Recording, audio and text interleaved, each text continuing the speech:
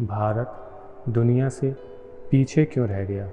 जिस देश के साथ विश्व गुरु जैसा नाम जुड़ा हो, उसे आज विकसित राष्ट्र बनने की कोशिश करते देख ऐसा लगता है कि क्या सचमुच भारत का भी विश्व गुरु था? और यदि था तो कैसा था? कब था? और फिर ऐसा क्या हुआ कि भारत आज इस स्थिति में पहुँच गया? और इसके लिए हमें आज से पाँच हज़ार वर्ष पहले जाना होगा, जब विश्व में मुख्य रूप से चार सभ्यताओं का उदय हो रहा था और उसमें से एक थी भारत की सिंधु घाटी सभ्यता।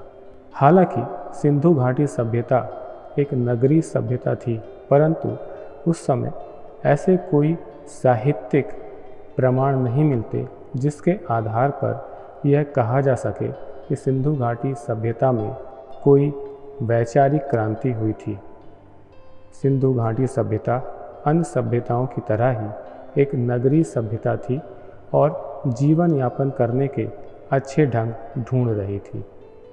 फिर आज से लगभग 3500 साल पहले भारत में वो हुआ जो दुनिया में कहीं नहीं हुआ। भारत में वैदिक काल की शुरुआत होती है और ऋग्वेद का संकलन प्रारंभ हो जाता है। अगले 500 सालों तक ऋग्वेद की रचना हुई और उसके बाद अगले 400 सालों तक बाकी तीन वेदों की रचना हुई।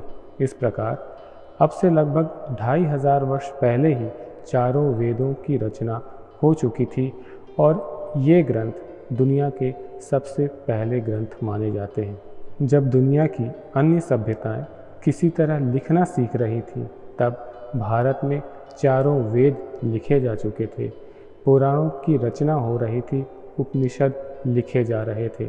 और यह सब आज से ढाई हज़ार वर्ष पूर्व की बात है। जब विश्व की प्राचीनतम सभ्यताओं ने ज्ञान की खोज प्रारंभ की तो उन्हें भारत में ही आसरा मिला।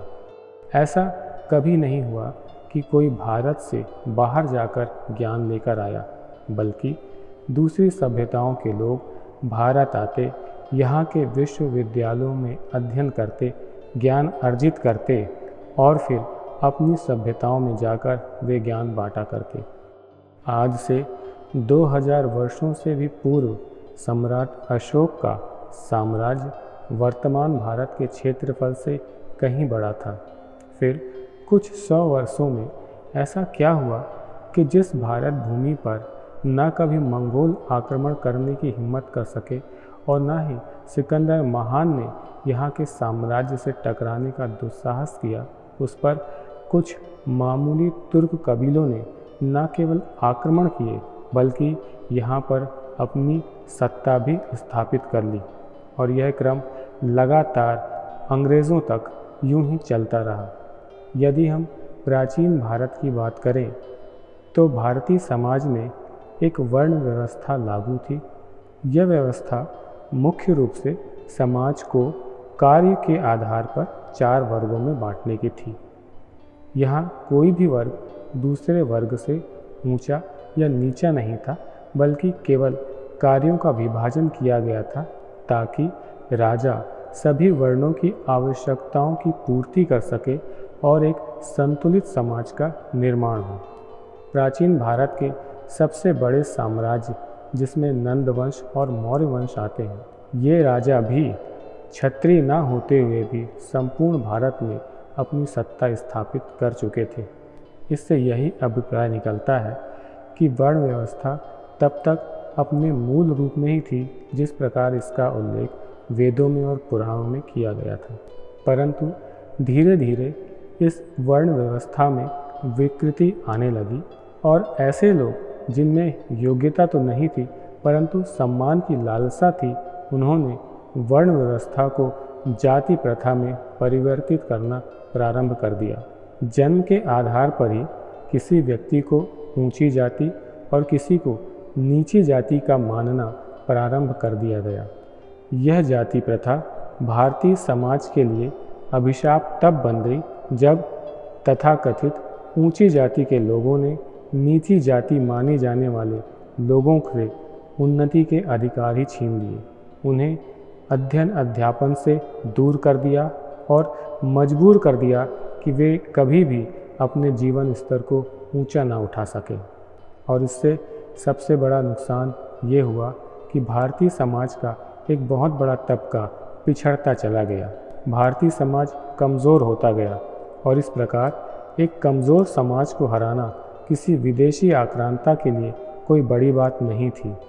और फिर हुआ भी यूँ ही। लगभग एक हज़ार ईस्वी से तुर्क कबीलों का लगातार आक्रमण भारत में होता रहा और फिर आगे चलकर यही मुग़ल सल्तनत का भी आधार बना। ये एक हज़ार वर्षों की दासता भारतीय समाज की अपनी कमज़ोरियों का ही परिणाम थी। जातिवाद का जहर धीरे धीरे भारतीय समाज को खोखला करता गया जिसका फ़ायदा पहले तुर्क कबीलों ने उठाया, फिर मुग़लों ने उठाया और फिर अंत में अंग्रेज़ों के लिए भी भारतीय राजाओं को हराना कोई बहुत बड़ी चुनौती नहीं थी, क्योंकि उन्हें भी भारतीय समाज का ये टूटा हुआ रूप बड़ी आसानी से दिख रहा था।